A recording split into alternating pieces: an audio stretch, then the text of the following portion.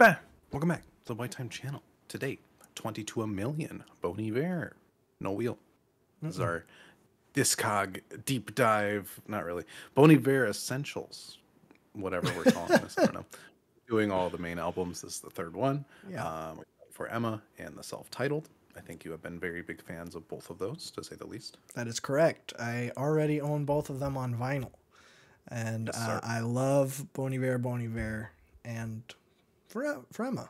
I think they're both classics. So I'm excited to love this one equally as much as I love the first two. Yes. Um, yeah, this is the first experimental album I think I've ever heard. Um, changed things in my brain about how music can sound. Okay. Uh, so this should be an interesting experience. I don't want to say too much about it. Obviously, this is 2016, so there's been a five-year disconnect between the two. Um, and yeah, this is one of the biggest curves an artist has taken in a discography. Um, so I think I'll leave it at that. Okay. Fair enough. But I think we could just jump in then. The opener, 22 over soon.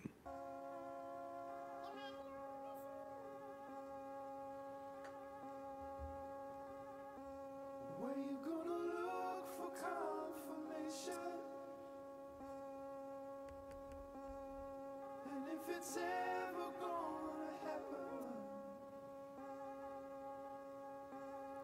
So as I'm standing at the station.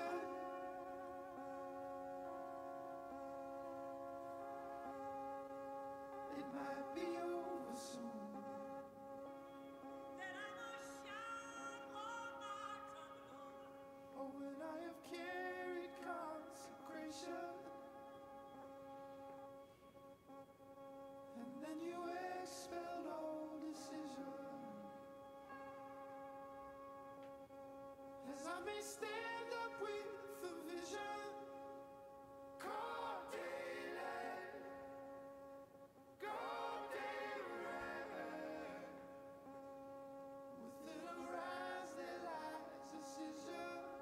Pause a little early here. okay. 22 over soon. That was pretty G dang awesome. Um, I know we we recently did the Imogen Heap. Uh, I always forget what that album's called. uh, something that Imogen Heap record. The one that everyone It's knows. fantastic. But Uh, very good. But you mentioned when we did Hide and Seek that there are moments on some Oh, Bon yeah. Iver records that remind you of that song.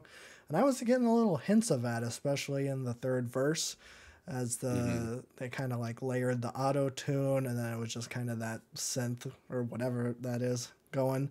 Um, I was getting very, very much Imogen Heap vibes, and I loved it. I thought that's a great opener.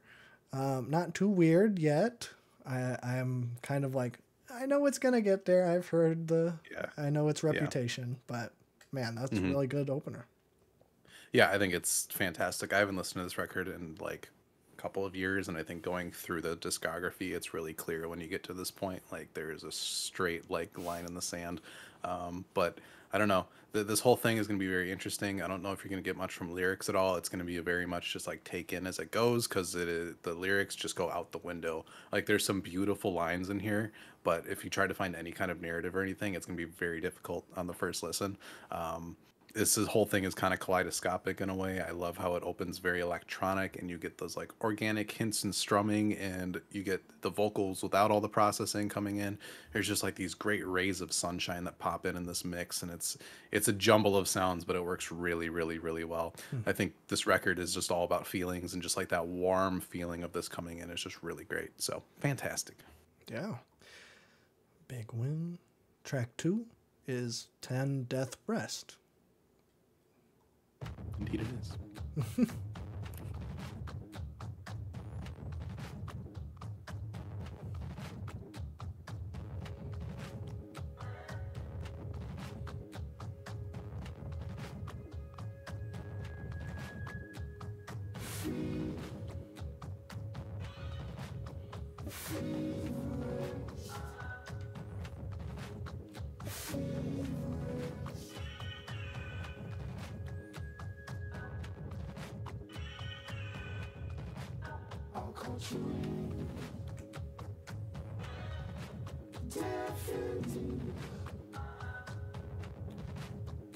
I've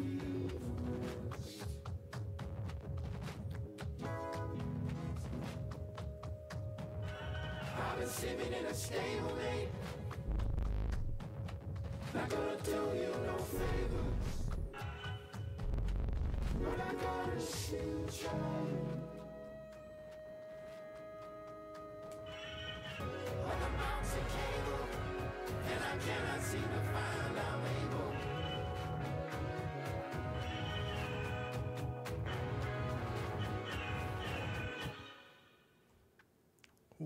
Death breasts. That was also pretty G dang good in a very different way.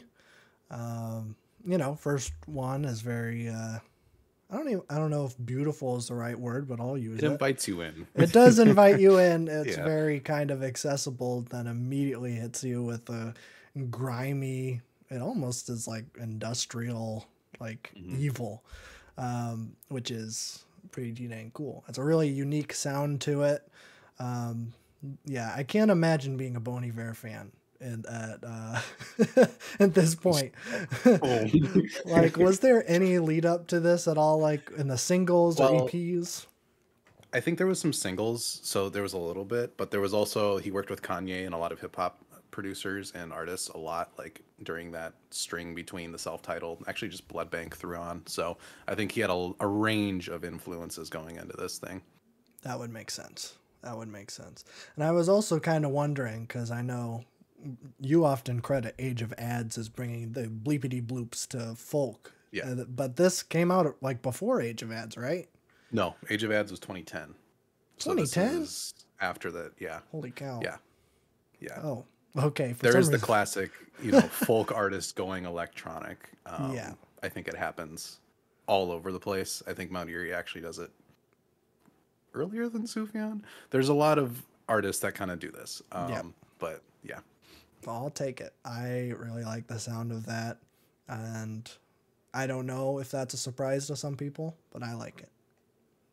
So, I think it makes sense when you listen to all the other Bon Iver records. I think out of context, this stuff is going to be very inaccessible, but it's it gives you the same feelings as every other Bon Iver record. It's just through a very uh, abstract, distorted lens, um, and it works really well. I, I think Death is great when I play it throughout, like just in the album order. I don't listen to it on its own that often. Um, in concert, it went really hard, like the just the incredibly like distorted drum line coming in and everything. Um, but yeah, it is very, very different than anything we've heard so far in the discography. so it's fantastic, though. yes, I agree. Yes, sir. All right. One of the big ones 715 Creeks. Down along the creek, I remember something. Heard the heron away. First I that last Sunday.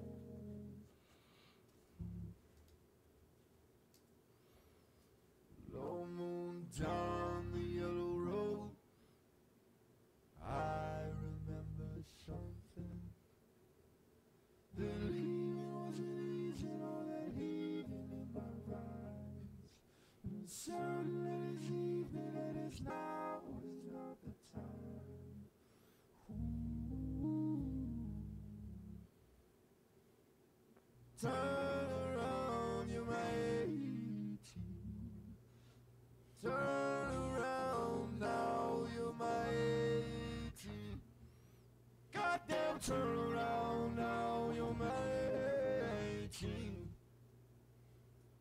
715 Creeks. Okay, there's the hide and seek song. Found it. Uh, found it. Yeah. No, I think that was really, really well done. Um, it is like, I think honestly, what makes hide and seek so great is how long it is. And it really takes uh, its time building over the course of like five minutes. And there's different parts and all these, all of these different layers. This one's really, really short. So it doesn't quite hit the same, even though it's kind of doing the same thing technique wise, where it's like, okay, just put a bunch of like layers on top of each other or all vocal layers. Mhm. Um, So I don't know if that completely like hits that same itch, even though it's kind of trying to do the same thing. But I did really like it.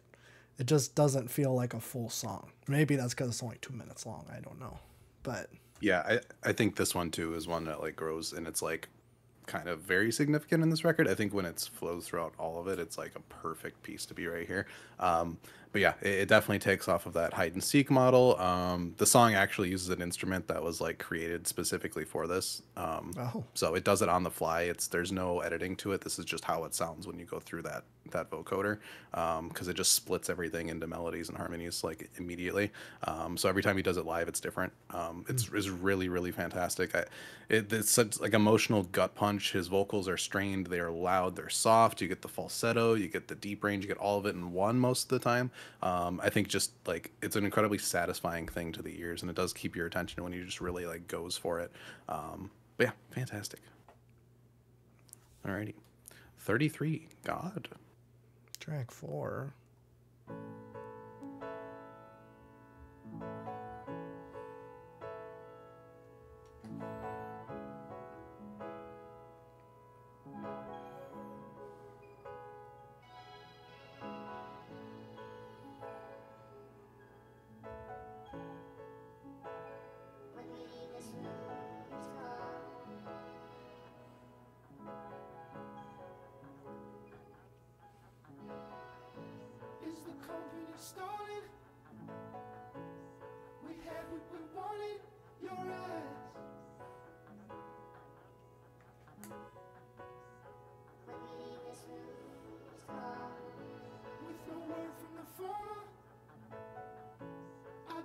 Happy as hell if you stay for tea.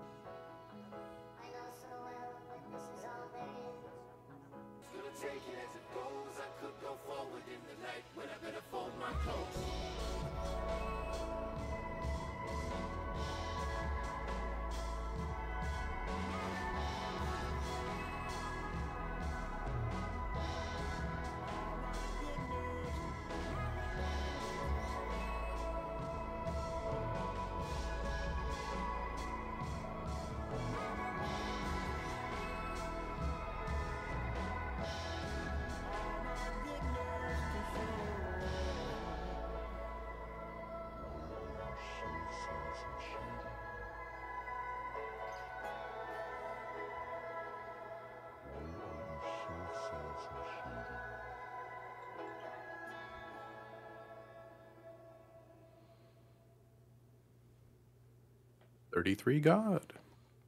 That one was also very good. I can see why this one is the most streamed.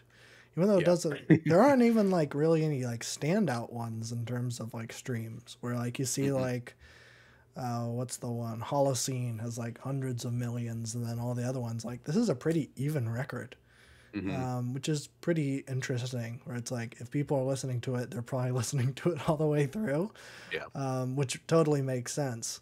Um, but I think that this kind of perfectly works in terms of like track pacing uh, and like the transition from like this weirdo cybernetic 715 Creeks into like some really nice pianos and vocal harmonies. Sounded like something off of like Bon Iver, Bon Iver. Um, and then eventually building to somewhere weirdo and chaotic. I thought was really, really well done. I really liked it. Yeah, I think the the transition from Creeks into God is one of my favorite things on the record. Just like it's so so artificial, and then boom, just piano, vocals, more traditional song. It works fantastic. The builds with the heavy drums, you got this Kanye kind of Yeezus style, like just pounding of instruments just coming in, and you get these great crescendos. Um, the samples coming in is also really nice. It's just this floaty, kaleidoscopic, spacey, just like everything is abstracted, but you can see the emotion cut through every time. And I think that's something that's very hard when you make music that is this cryptic. It's it's hard for it to connect to people unless you have that through line that just cuts through. Otherwise, it's just a jumble of noise, and people are going to be turned off by it.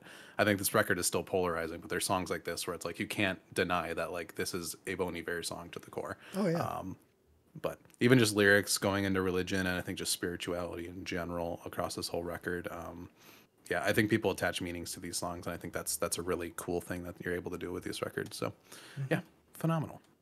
Alrighty, 29 Stratford Apartments, track five. Too many numbers.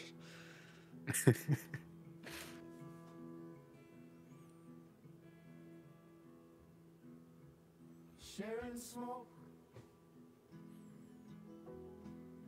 the stare of the hot car lot. The sun shine hard on the video spot.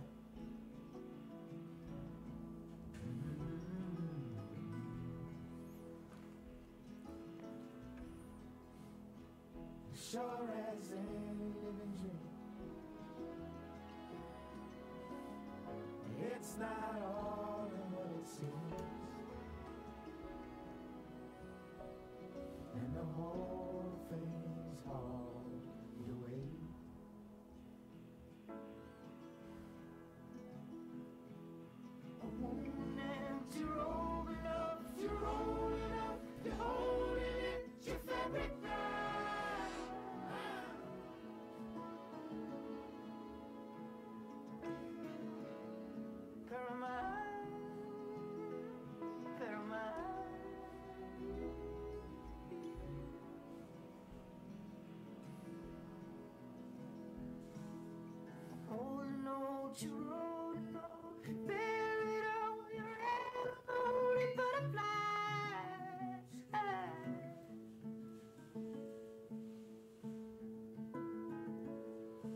So fine,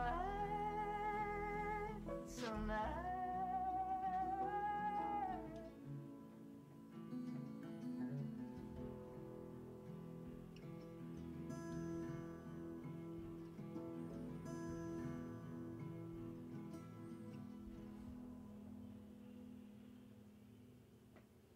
Strafford Apartments. This is very interesting.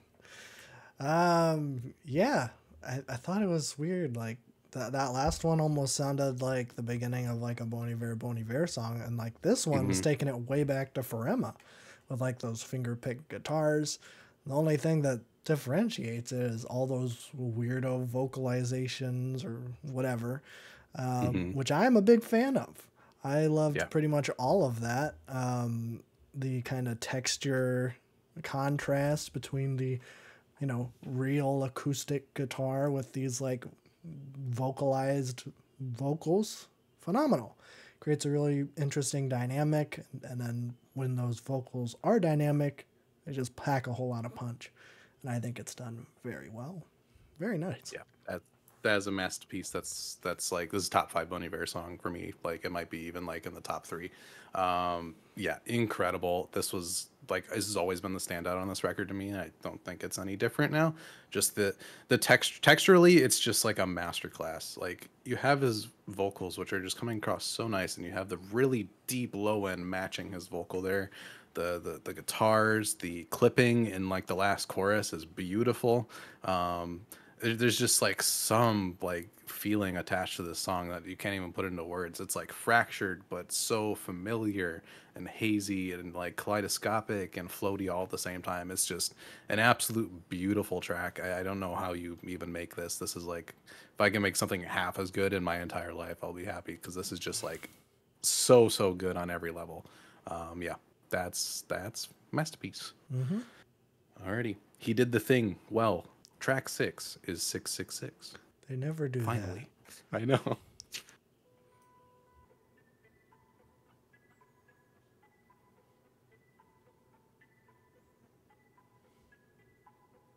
Six is hanging the door.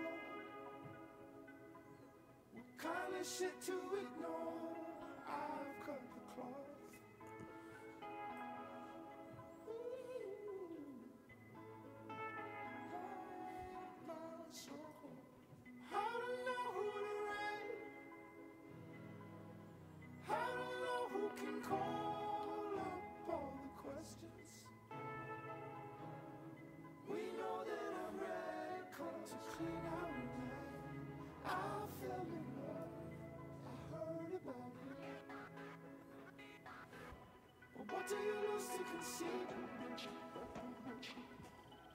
Yes, it's hard to believe without soul from the seas.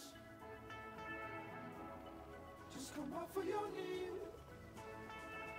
Please, please, please. I can't admit to conceal. No, that's not how that's supposed to feel. Oh no, it's not for Fuck the fashion of it. I've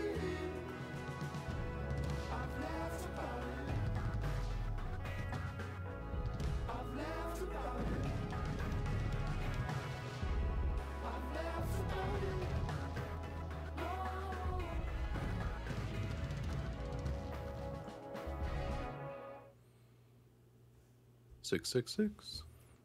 That one, honestly, I might like that just as much as I like the Stratford apartment. that one slaps. Um, I don't know like what to say about it because I feel like it's pretty g dang similar to Stratford Apartments and its kind of approach.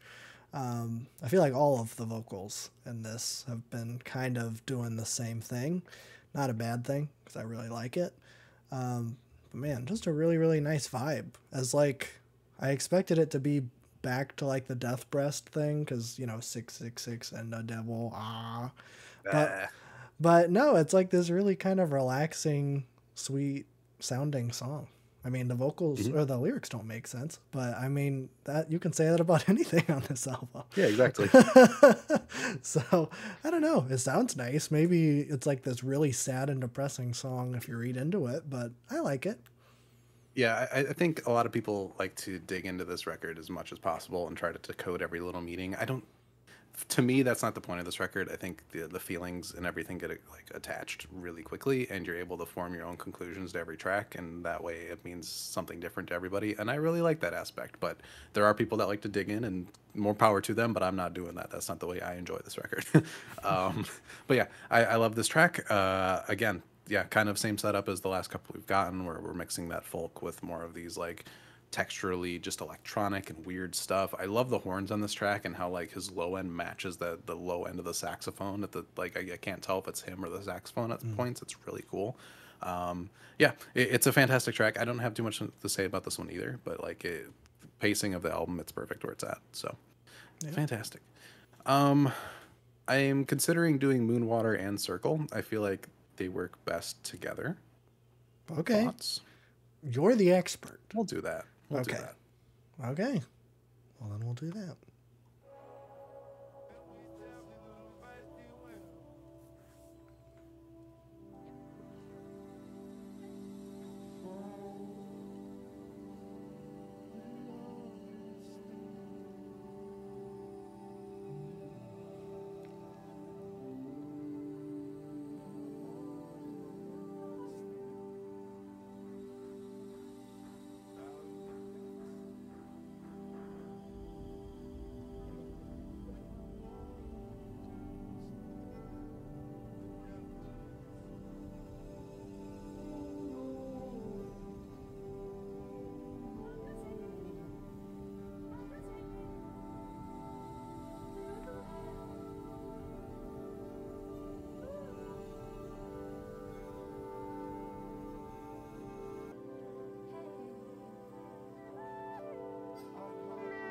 I'm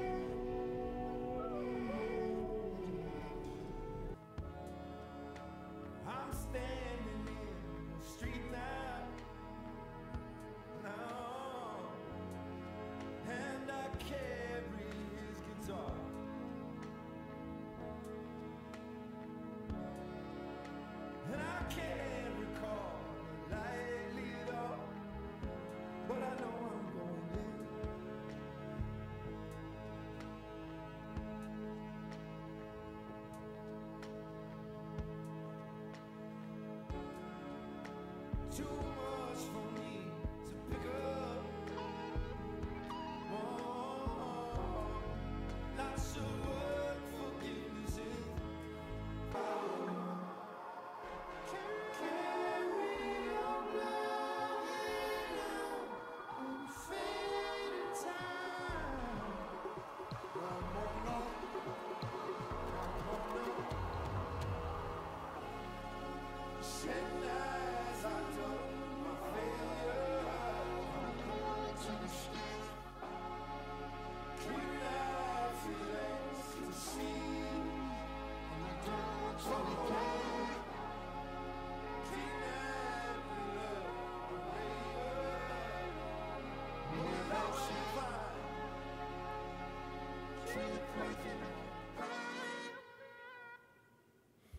Moonwater and Circle.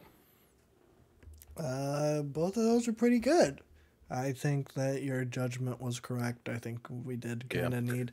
That's kind of like a Lisbon, Ohio, and uh, Beth Rest. Mhm. You know, you kind of need the first one to make the second one hit as hard. Mhm. Um, but I mean, the first one is three minutes long. And honestly, I think I might actually prefer Moonwater over Eight Circle.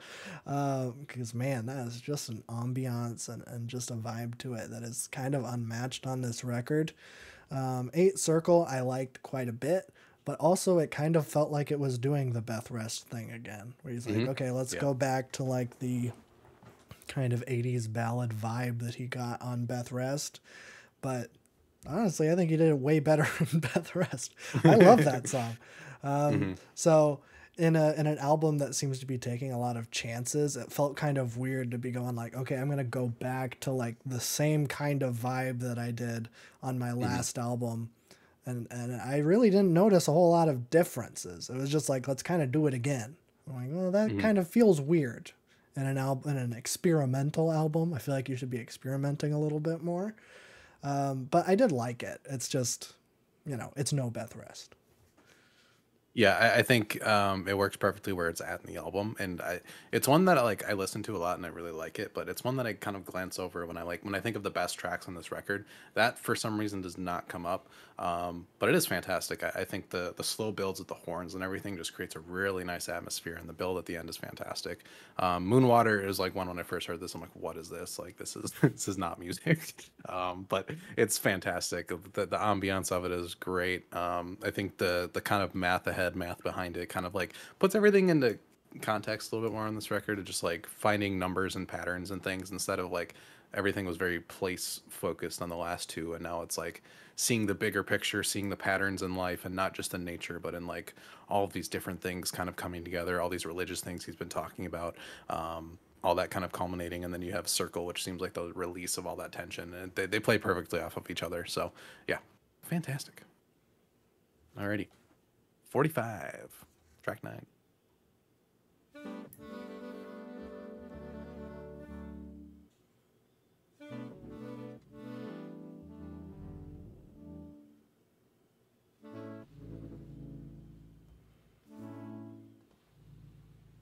Well, I've been caught in fire.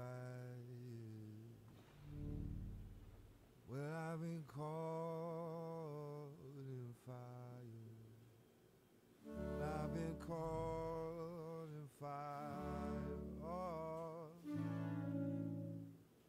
I've been caught in fire.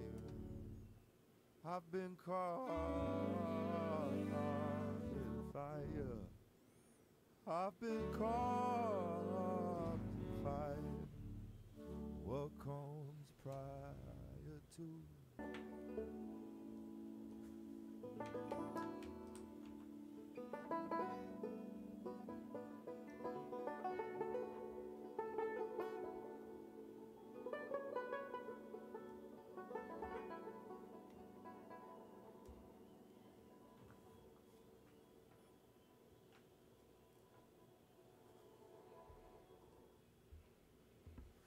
Gonna transition, but Yeah. forty-five. Uh, 45, I thought that was pretty good. Um, interesting. I got a lot of Frank Ocean in that. Like, a lot of Frank Ocean, especially in the second verse. Um, felt like, I don't even know what song of his to compare it to. The only, like, the only thing I noticed is when he was saying fire, it sounded just like when Frank Ocean says wildfire on the hit song Wildfire by John Mayer featuring Frank Ocean, which is just a Frank Ocean song on a John Mayer album. Um, and I'm like, oh, that's kind of weird. They're saying it in like the same way. They're like fire. Mhm. It's like that same in like intonation and like the same melody. I'm like, that's a weird. It's a weird thing to draw from. If he did draw from that, um, but I guess Paradise Valley came out three years before this. But Wouldn't surprise me. I- it would surprise me. I have no idea why you would draw from that, but uh, it is very, uh, very, very good. Um, I liked the. I always love when he like goes into his baritone voice. He has such a silky smooth baritone. Mm-hmm. He which is- does.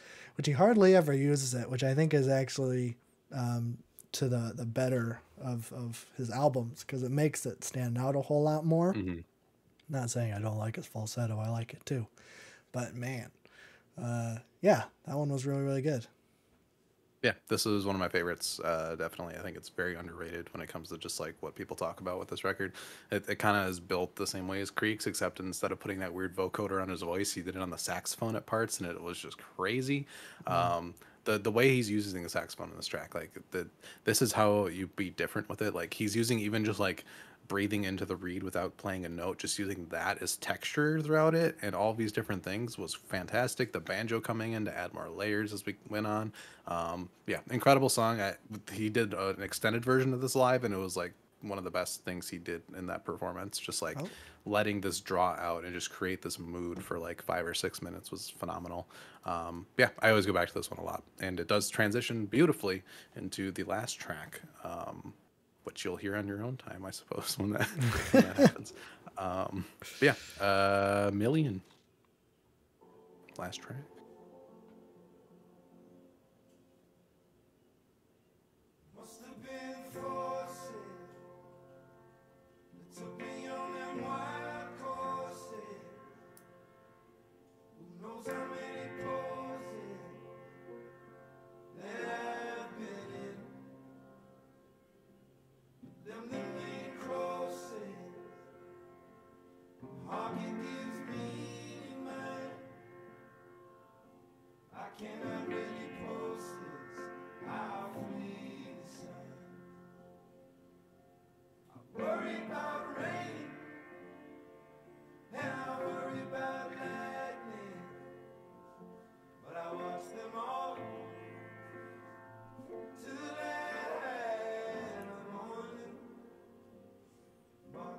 Slow. Song low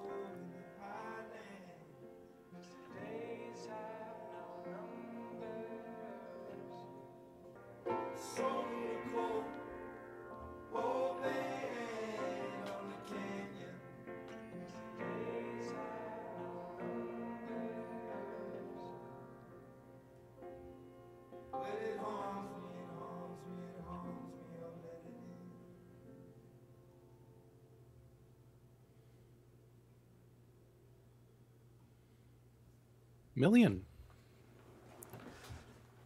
I don't remember if you said this on video or if you said this just in passing that you Yeah, said I remember. wouldn't like this outro or maybe it would grow on me.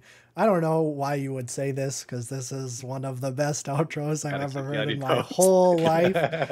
Holy cow, this is like Re: Stacks level, um, in my humble opinion, at least off rip. Uh, holy cow, that um, wow, this is like the lyrics finally kind of Yes. makes sense. the first time on the album, of course, it's the last song. But man, man, that's that is like really, really good. I was kind of getting vibes of the hit Jackson Browne song, "The Load-Out," which is a phenomenal song. Um, just it being kind of a slower piano ballad with just him and a piano. But then, as the kind of vocal effects came in, I thought that it differentiated itself enough to be like, okay, that's clearly different. Um, and I thought that, I don't know, it was just beautiful. I don't really know what else to say about it. Phenomenal. Yeah, masterpiece. Uh, one of the best when it comes to just closing albums. I don't know what it is with him, but he just knows how to do it, and he know. does it extremely well on the three records we've done so far. Yes. Um, yeah, it's incredible. I think just like going back to a piano ballad after we go through all these different like twists and turns on this record, going back to like here's like you know it's been so long since for emma and all of this like transformation just to go come back to like the same central message and everything is just like really beautiful um i don't know something about outros he just like turns it on and it, it just becomes one of the most beautiful things you will ever hear. Um i don't think it reaches a level of stacks but it's like also just like i put this with Beth/Rest i think they're both just like at this level that is still incredible. I think when it comes to like album closers he is one of the best that ever does it. Um, Yeah. yeah. Yeah but i guess we can talk about the record as a whole. Yeah. Um, I think to the surprise of everybody, this has the highest track and winning playlist um, as of any Bon Iver album. I think I think I li- like this one the best, which I think is the weirdest thing. I was not expecting that at all. I did the whole foreshadowing thing at the beginning where I'm like, I'm gonna like this equally as much as I like the other ones, and I might like this more. I love the like glitchy electronic elements that came in. I feel like it created a really great texture throughout the entire thing. Um, and it's not nearly as inaccessible as I've heard people describe it. Mhm. I don't. People need to listen to it again. I don't know what's going on. Yeah, I think people don't go in order. I think you need to like sit with the other two records first before doing this. Oh. Otherwise, it's not going to hit nearly as hard. I don't think. Who's starting with twenty to a million? People see a album that's highly rated, and you're like, "That's the one I want to listen to."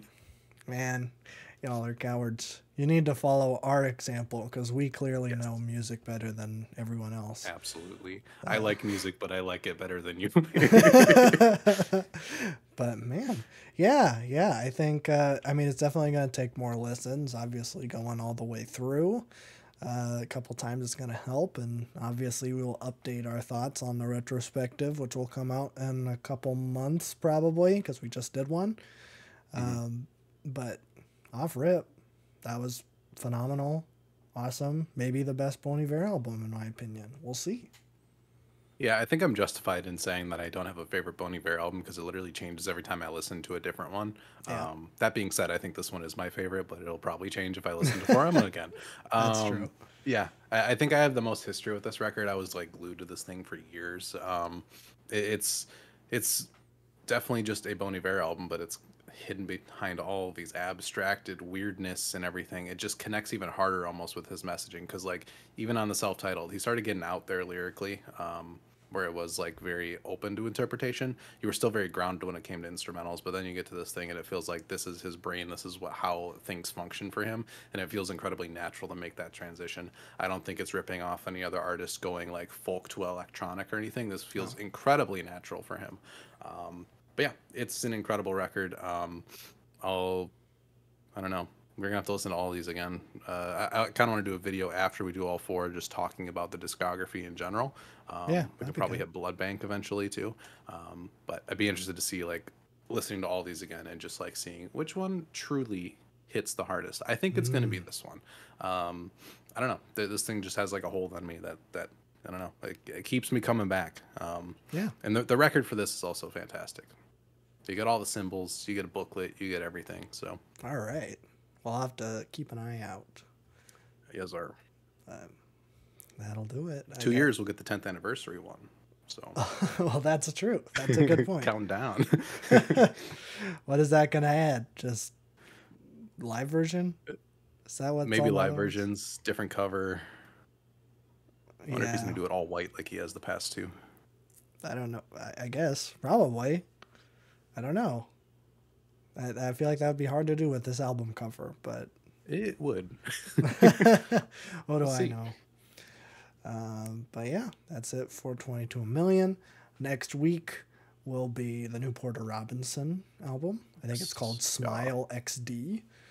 So keep an eye out for that one. I think that's what it's called, right? I think it's Smile Happy Face, but I think there is a song that has XD in it. Okay, it's one of it has is it colon D then? Yeah, it's colon D. Okay, whatever. It's a happy face. Um, I'm very excited for it. I think we're gonna see if we can get Bab Jab on the horn for that one. Um, So very nice. And then after that, it's Seven Swans. So Yes. got back to back bangers. Probably. I mean, I haven't heard the Porter Robinson record, but I can't imagine it being bad. Honestly, I say that now. Hopefully, I'm Yeah. correct. um, but yeah, uh, we have a podcast. If you're interested, we do all sorts of stuff there. It will continue to be monkey themed for the foreseeable future, uh, at least the next five or so weeks. So that'll be good. So that's it. I have nothing to add. Me neither.